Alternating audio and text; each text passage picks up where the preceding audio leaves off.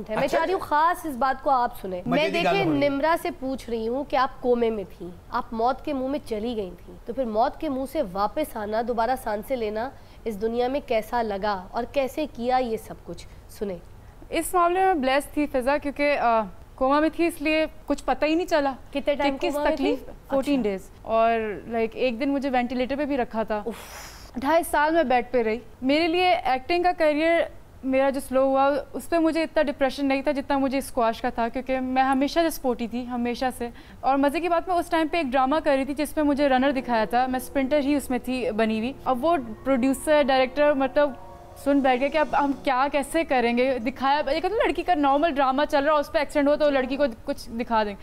दिखाया भी रनर और टूटी भी टांग मेरी। तो अब वो किस तरह मैनेज करें सारा कुछ? फिर पूरा आधा ड्रामा मैं चारपाई पे बैठ के अब उन्होंने अबू से परमिशन ली कि हम आपकी बेटी को घर से ले जा सकते हैं तो मेरे साथ चार लोग जाते थे व्हील उठा के।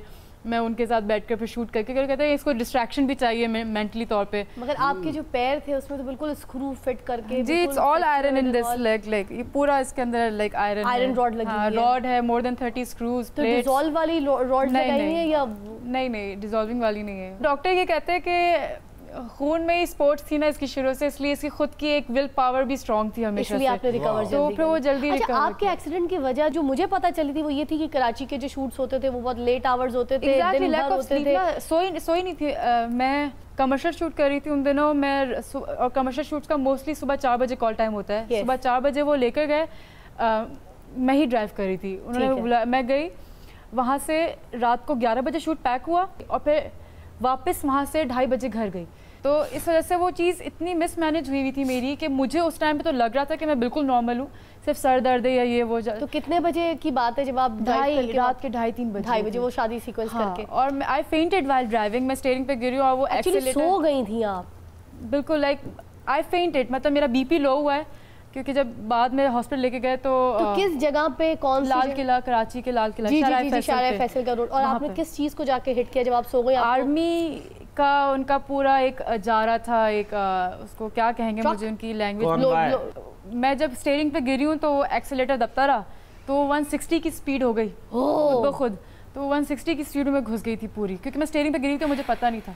और लिवर मेरा पूरा इंटरनल डैमेज और ब्रेन मेरा सारा खूनम खून हो गया तो था एयर बैग आपको सपोर्ट मिली थी कुछ गाड़ी seat belts. मैं seat belts नहीं पहनी हुई Oh, थी तो वो लिवर के अंदर स्टेयरिंग घुस गया था यहाँ पर शीशा घुस गया था सारा। अल्लाह ताला ने आपको सेहत तंदुरुस्ती अता की अल्लाह ताला की बड़ी मेहरबानी है आपके फैंस की दुआएँ। बल्कि आपकी हिम्मत के लिए भी तालियाँ। मुझे खुद से शौक था। अबू ने गाड़ी गिफ्ट की थी नहीं नहीं। मुझे बस शौक था मैं खुद जाया करूँ ड्राइव करके। उन्हें तो मतलब खुदा ना खासा जिस दिन कोई ऐसा दी गल होवे उस दिन ड्राइवर को उस दिन ड्राइवर साथ होना चाहिए। फिजा देखें इतना काम करती हैं जब भी पैकअप होता है अपनी साइकिल पे घर चली जाती है। साइकिल भी ਇਹਦੇ ਕੋਲ ਵਿਚਾਰੀ ਕੋਲ ਤਿੰਨ ਪਈਆਂ ਨੇ ਹਵਾਈ ਸਾਈਕਲ ਹੈ ਮੇਰੀ ਤਾਰ ਤੇ ਚਲਾਉਂਦੇ ਨੇ ਲੱਕੀ ਰਾਣੀ ठीक है मेरी बात सुने मैंने भी एक ड्रामा लिखा है। किस तरह ली है? मैंने कॉपी ली फिर पेंसिल ली फिर कॉपी पे पेंसिल से लिख दिया ड्रामा वाह।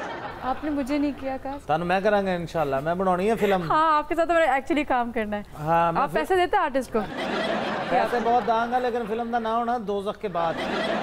वो आपने अपने पे लिखी होगी ना? हाँ।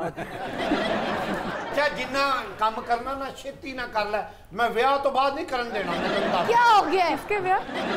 बुज़ुर्ग आदमी है और बच्ची भी शादी की उन्होंने फ़िक्र है। जिन्होंने हाँ। जमिया होंगे ना ब्याहणियाँ जी पापा जी। थैंक यू थैंक यू हमारा रिश्ता हो जाएगा डोंट वरी है?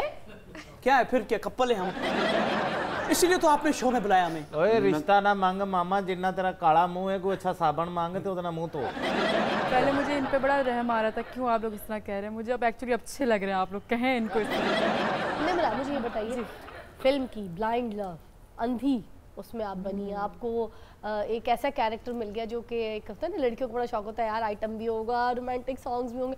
उसमें आप ब्लाइंड बनी मगर उसके बावजूद आपका वो सॉन्ग्स भी है उसके अंदर फ़िल्म में ब्यूटी शॉट्स भी है गाने भी हैं रोमांटिक एंड स्टफ़ और क्या क्या वादियाँ प्यारी प्यारी Oh, शूट हुई हुई हैं। तो ये फ़िल्म थी फैसल बुखारी साहब की। उनके बेटे ने डायरेक्ट की as far as I think ऐसे ही.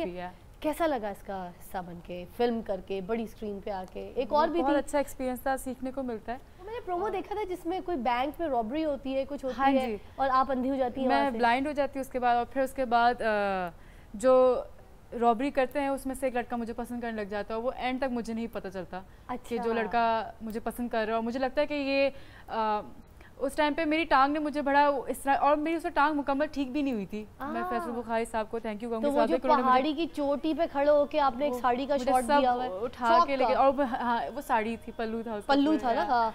कैसे फिर फिर टूटी? इवन सीढ़ियाँ से सीढ़ियों से उतरना भागना उसमें ब्लाइंडली आपको मतलब ठुड्डा तो किसी को भी पता है ऐसे अगर आप मतलब एक जगह देख रहे हैं आपने तो यही प्रिटेंड करना कि आप अंधी हैं।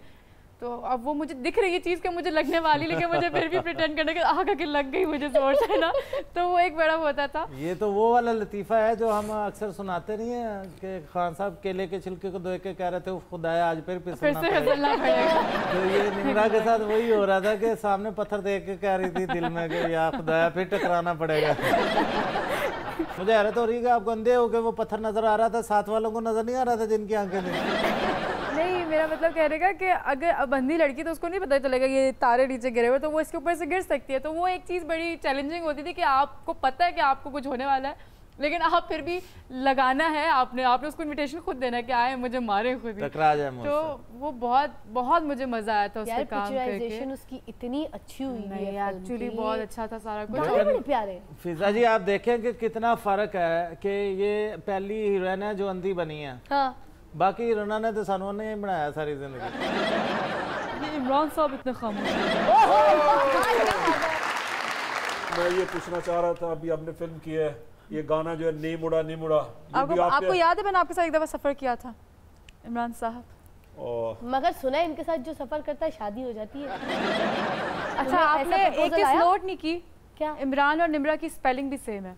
हाँ N I M R A I M R A N देखिए आप उनको ओह, टच कर रही ओह, है sorry। आप टच ये कर रही है देखिए। अगर भाभी वो नाराज touchy हो जाएंगे बहुत। टची हो जाएंगे सॉरी नहीं निमरा असल में एक किताब लिखना चाहती हैं इसलिए उधर उलझ रही हैं वो इस्लामाबाद से कराची हम लोग गए थे नहीं नहीं बहुत डाउन टू अर्थ थे ਵੀ ਉਦੋਂ ਹੀ ਹੋਣਾ ਨਾ ਜਦੋਂ ਤੁਹਾਨੂੰ ਮਿਲਣੇ ਜਾਂ ਤੁਹਾਨੂੰ ਵੇਖ ਕੇ ਹੋ ਗਿਆ ਹੋਣਾ ਸਾਨੂੰ ਤਾਂ ਜਦੋਂ ਵੀ ਮਿਲਦੇ ਨੇ ਆਕੜ ਕੇ ਹੀ ਮਿਲਦੇ ਨੇ ਇੰਨਾ ਅੰਡਰਪਾਸ ਬਣਾਉਣ ਲੱਗਿਆ ਸਰੀਆ ਇਸਤੇਮਾਲ ਨਹੀਂ ਹੋਇਆ ਜਿੰਨਾ ਇਹਨਾਂ ਦੀ ਗਰਦਨ 'ਚ ਇਸਤੇਮਾਲ ਹੋਇਆ खिलाड़ी हमेशा डाउन टू अर्थ होता है यार कैसी बातें करते वो ज़मीन तो गेंद चुकन ही समझ रहे हैं डाउन टू अर्थ आप हैडसम साहब ये बताइए कि आपने तो कहा था कि तीन माह तक एटलीस्ट मैं किसी मुल्क का दौरा नहीं करूँगा।